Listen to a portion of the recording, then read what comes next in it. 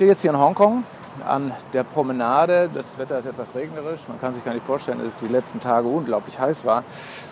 Ich möchte vielleicht ein paar Dinge hervorheben, die mir jetzt besonders aufgefallen sind oder die ich besonders wichtig fand. Äh, das erste ist das strategische Vorgehen, was man hier in den Ländern gefunden hat. Ganz besonders ausgeprägt in Malaysia, wo es ein Regierungsprogramm gibt, Blueprint heißt es, wo zehn Entwicklungsfelder für die nächsten zehn Jahre aufgezeigt worden sind und eine besondere Schlüsselrolle dabei nimmt die Digitalisierung ein. Jedes dieser, dieser Elemente, die sich auf den Aufbau der Wissensgesellschaft, um aber auch die Öffnung, Demokratisierung, Globalisierung beziehen, jedes dieser Elemente bezieht sich sehr stark auf die Digitalisierung und, äh, und die Bedeutung, die es hat. Das Besondere daran ist, dass dieses Programm sehr detailliert ausgearbeitet ist, dass es auch grafisch sehr, sehr gut aufbereitet ist und dass es direkte Handlungsanweisungen an die Universitäten gibt. Äh, das ist auch interessant, weil die Universitäten es dann wieder tatsächlich auch sehr detailliert umsetzen.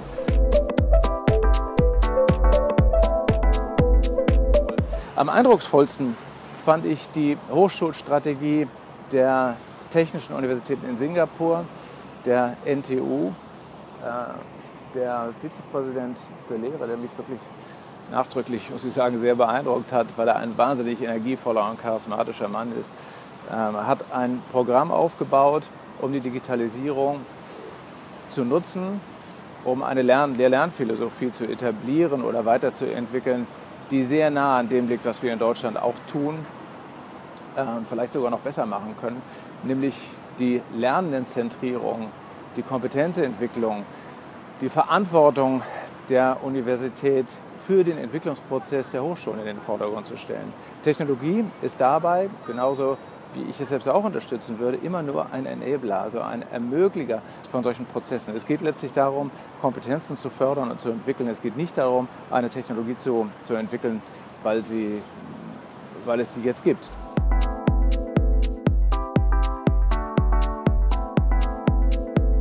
Was man bei allen Hochschulen, die wir besucht haben, sehr deutlich sehen kann, ist, welche Bedeutung die Lehre für die, für die Exzellenz der Hochschulen angeht. Man muss ja sagen, die Hochschulen, die wir hier angeguckt haben in Hongkong und Singapur, die gehören zu den absoluten Top-Universitäten der Welt. Und hier hat Lehre eine so essentielle Bedeutung für die Hochschule, die ist strategisch so wichtig, wie man es in Deutschland eigentlich überhaupt gar nicht findet. Das zeigt sich in unterschiedlichen Dingen. Das zeigt sich daran, mit welchen Finanzmitteln die Hochschule ausgestattet ist. Das zeigt sich auch darin, welche Gebäude für die Lehre gebaut werden.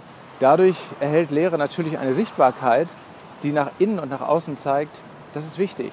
Lehre ist wichtig. Äh, das sieht man tatsächlich auch in den Regierungsprogrammen, das sieht man auch in der Förderung von Universitäten. Auch hier hat die Förderung von Lehre einen essentiell hohen Anteil. Ein weiteres Element, wie diese Sichtbarkeit erzeugt wird, sind Preise und Rankings. Auch etwas, was wir in Deutschland zwar haben, aber welches Element wir aus meiner Einschätzung nicht wirklich gut ausspielen. Nämlich die, äh, das tatsächliche Hervorheben exzellenter Lehre. Sie haben hier sogar ausdrücklich gesagt, es geht darum, Stars zu produzieren. Also wirklich einen Star in der Lehre zu machen, zu zeigen. Die ganze Hochschule ist, ist stolz auf gute Lehrende.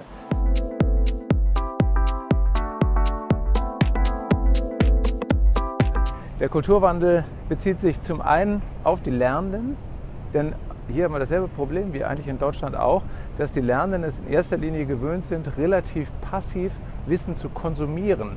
Äh, und die Flipped Classroom-Konzepte, das Blended Learning, das Problem-Based Learning, was hier auch mehr und mehr als wesentlichstes didaktisches Element eingesetzt wird, erfordert eben einen aktiven Lerner, der sich kommunikativ, kollaborativ in Peers äh, darum bemüht, Probleme zu lösen. Dieses Leitkonzept, also das Ziel der, der verantwortungsvollen Problem Solver, das ist tatsächlich ein Leitkonzept, was wir, was wir fast überall finden und es erfordert eben einen Lerner, der aktiv ist.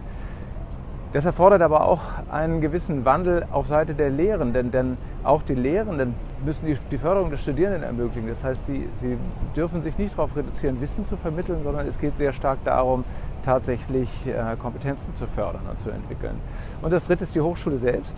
Etwas, was ich schon eingangs gesagt hatte. Die Hochschulen entwickeln sich immer stärker dazu, exzellente Lehre neben der Forschung als, als Markenkern zu entwickeln.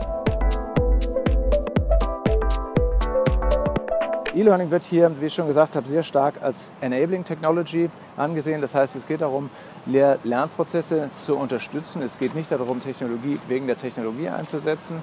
Sehr stark im Fokus steht dabei immer die Kompetenzorientierung.